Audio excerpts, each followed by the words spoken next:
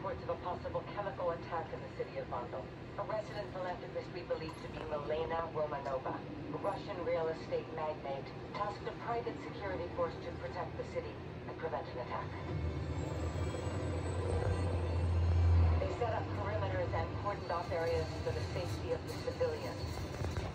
Many have been evacuated, and others have chosen to leave. Questions the intentions of the security force are being answered before our eyes. Enemy soldiers have been seen within the city limits. There is something very wrong in Vondel.